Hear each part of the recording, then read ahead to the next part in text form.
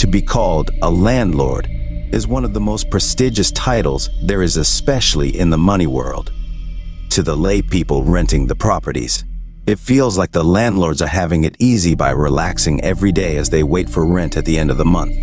However, it's not always roses as getting tenants can be challenging, and even getting the tenants to clear their monthly accrued rent can even be more burdensome with difficult tenants.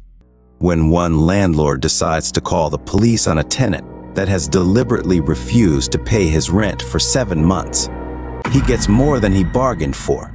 A crime scene of 12 decomposing human bodies buried inside his kitchen. Welcome and welcome back to Tavern Crime Chronicles. We explore strange, mysterious, chilling, and unsolved cases. If you have the nerve for fascinating stories, this is your channel. We approach our cases with empathy and extensive research, and if you appreciate our true crime storytelling, kindly support us by subscribing. Thank you. Today's story takes us to Rwanda, a beautiful country in the Great Rift Valley of Central Africa. Sitting on 10,000 square miles, Rwanda is the fourth smallest country on the African mainland with a population of 14 million people. Despite the fact that it is a small country, it is the fifth mostly densely populated country in the world with its lands mostly occupied by the Tutsi, Hutu, and Twa all drawing from one cultural and linguistic group, the Banyarwanda. We cannot talk about Rwanda without mentioning its beautiful people. Her women are known to be one of the most beautiful and tallest women in the world. Rwanda's economy is one of the fastest growing, despite basing mainly on agriculture of tea and coffee. The Rwandan president, His Excellency Paul Kagame, has been so instrumental in bringing Rwanda on the world map. From sponsoring one of the popular football clubs, Arsenal, to hosting international conferences and sports tournaments, it has boosted its tourism, becoming its biggest foreign exchange earner. And yes, I cannot go without mentioning its beautiful scenery, good roads, and the fact that it is the cleanest country in Africa. But it's not been all roses for the young African country, and as the world even tries to grapple with what befell them in the Rwandan genocide, some heinous people will not let the country shine in its new glory.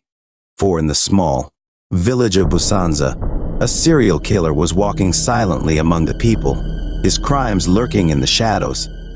But as they say, every day is for the thief, but one day is for the owner. The devil stripped him, and he was left to shame as all his crimes were laid bare. Well, relax grab a drink while we dive into the wretched heart of a serial killer. This is the story of Denis Kazungu.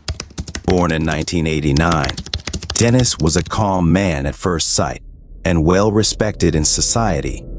Not much is known from his childhood, but besides having been an English teacher, the 35-year-old businessman owned a motor car spare parts shop. With the money made from his business, Denis rented a house from a one Augustin Shirambert, his landlord whom he paid diligently for most of the time.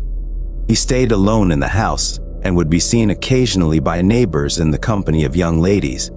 It's for such reasons that the Bible cautions against staying alone.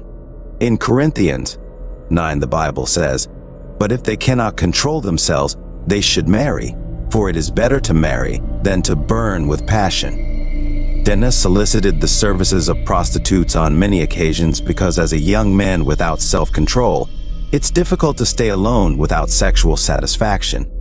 Unfortunately, Denis started to feel ill and his body weakened. He went to see a physician and was diagnosed to be HIV positive. For most, that diagnosis will leave you shocked and feeling empty, like you are one step to your graveyard. Denis went home and tried to comprehend the horrible news he had just received about his health.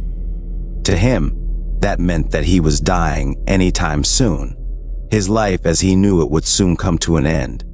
And as he lay on his bed plainly looking at the ceiling with tears in his eyes, something sinister crossed his mind. He was dying, yes, but he couldn't go down alone. The people who infected him had to pay the price and go down with him. Fun. He had, it was now time for revenge. He had mourned his miserable life, and now gathered himself for his revenge mission. He started frequenting nightclubs where he had previously bought the sex workers for familiar faces.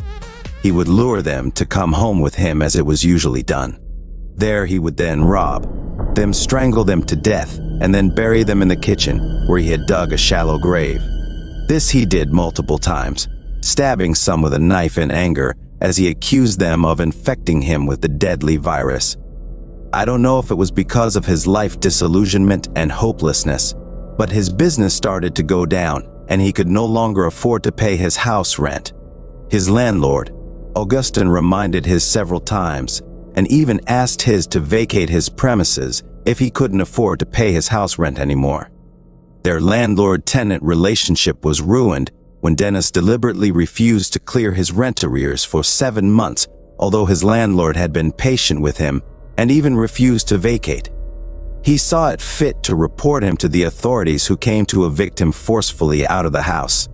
September 5, 2023, Day of Reckoning. As requested, the police officials came to throw Kazungu out of the house, and one of the police officials said that he put up a fight as they evicted him. He was apologizing and crying excessively which raised the police's suspicions, and they detained him for investigation. There, he confessed all his deeds like he was a sinner repenting to a Catholic priest. To him, it was like he was carrying a burden and wanted it to be lifted.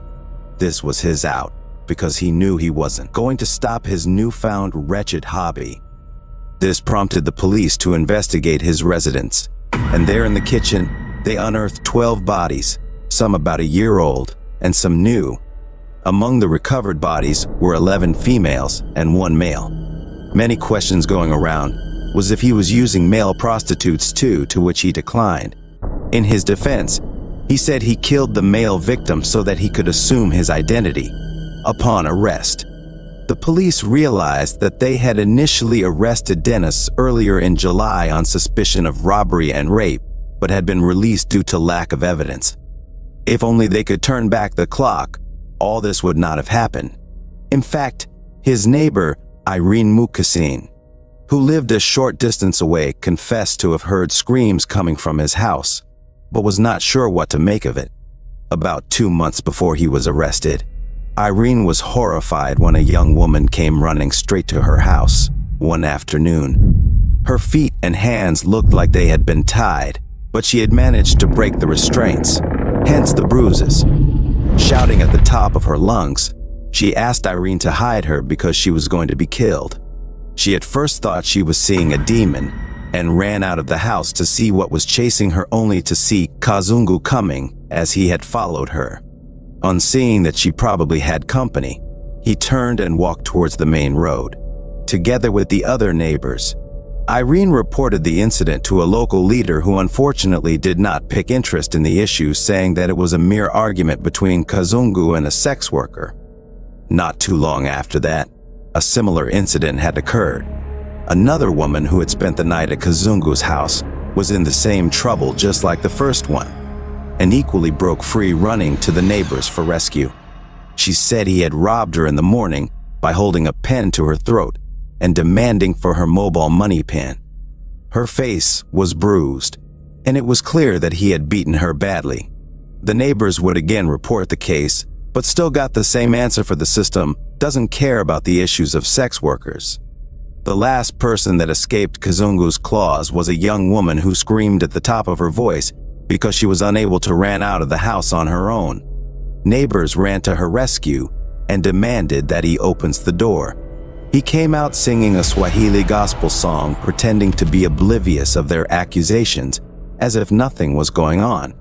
The neighbors were adamant and decided to pick up stones and throw them at his house and over the roof when they realized he wasn't going to listen. On seeing how serious the neighbors were, he let her go and she ran through the back door. Reporting the case was again to no avail and no action was taken against Kazungu but they would in a few days witness the horror that was Kazungu's murder house. During interrogation, Denis confessed that he learned to kill his victims from watching films about notorious serial killers. This showed that his crimes were premeditated as he carefully tortured them to reveal their bank details by using any weapons in the house, including pens. Surprisingly, Denis requested not to be reported in the media for the heinous crimes he had committed so that he could protect his name, a name he had long lost if you ask me. He requested the court to hold the hearings of his case behind closed doors, a request the judge denied. A handcuffed Kazungu was brought to the courthouse in a prison van and was loudly booed as two policemen escorted him inside.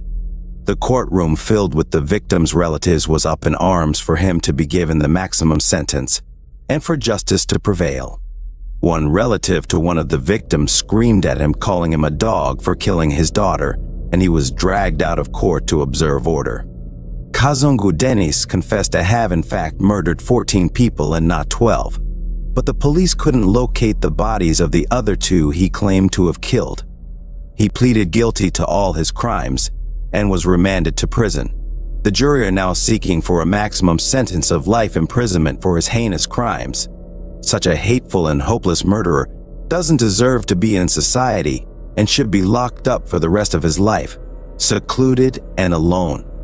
And this comes to the end of Kazungu's serial murders, a man who lived a life buying sex workers and later killed them for infecting him with HIV, a sexually transmitted infection. Tell me, what do you think about this case? Do you think Kazungu deserved to be angry at the sex workers? I think our lives are in our hands, and although he was buying sex workers, he should have been at least responsible enough to use protection. And to the sex workers, there are always better and safe ways to make money, because expecting to be in a stranger's bed every day to be able to earn a living is quite absurd for anything can happen, and that includes murder. Well, if you like the way we presented this case, or are even interested in real crime documentaries, don't forget to subscribe, like the video, and even share the thrills with your friends who may like the same. See you next time.